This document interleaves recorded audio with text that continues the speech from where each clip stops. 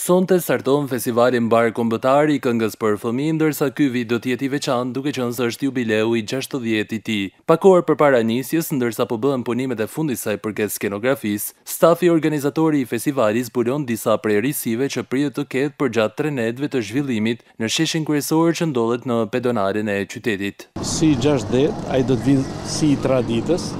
kështu që pra këngë të reja janë të marrura nga gjitha trevat shqipfolëse, duke filluar nga Shqipni, Maqedoni, Kosovë dhe Mali Zi. E reja e gjashtëdhjetëvjetorit është sepse ne bajmë një retrospektivë të të gjitha arritjeve më të mira të këngëve për fëmijë që nga viti gjashtëdhjetë e tre dhe deri në 2021. Kemi fëmijë shumë të vegjël kësaj radhe në festival, sepse u bashkangjit bashkë me bilbilat e vegjël të Shkodrës këndojnë, i cili është një festival zërësh në Shkodër, dhe ndoshta nga dy vite shkëputje nga pandemia,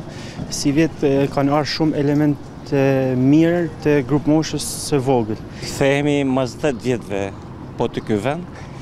Me një ndryshim që ne normalisht na mungon ëmbëlsira si t'thush ose protagonisti kryesor i festivalit Profesor Kujtimi, por pa diskutim që themi që festivali do jetë shumë i bukur, skenografia do jetë shumë e bukur sepse don s'don këtu është arkitektura vetë e, e vendit ku zhvillohet, është shumë e bukur. Skenari zakonisht nëpër festivale Përfaqëson një lloj politike të festivalit, ka ato simbolikat pak të mshehta që nuk kuptohen menjiherë dhe ne që përpiqena me i nxjerrë n'dritë, duke qenë se është festivali i gjashtëdhjetë, ne mendojmë se një pjesë e atyne politikave kanë dalë n'dritë, gjatë gjashtëdhjetë viteve edhe gjatë rinovimit të tyne dhe jena përpjek tashti me u largu pak prej patetizmit të prezentimit edhe të skenarit dhe me nxjerrë një skenar sa ma afër jetës reale t'fmijve. Kena ba një grup me prindrit, ku jena përpjek me nxjerrë gjanat ma të veçanta që kanë ba këta fmijt. Jam shumë falënderuese që m'u besua mua prezantimi i këtij edicioni, jam e bindur që Ja dielli na nderoi për shembull, kjo është energji e mirë.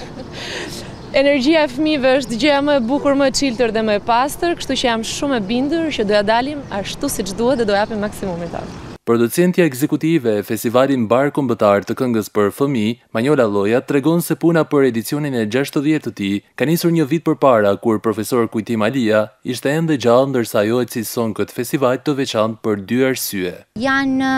dy elementë që mua më duken shumë të rëndësishëm edhe kam dëshirë t'i cilësoj. Së pari që ky nuk është një festival thjesht me fëmijë, po është një festival për fëmijë në të gjithë dimensionet, dhe në këto tre net festival askush përveç Enxhit nuk do hypë në skenë, sepse në skenë do jenë vetëm fëmijët dhe protagonizmi do jetë totalisht i tyre,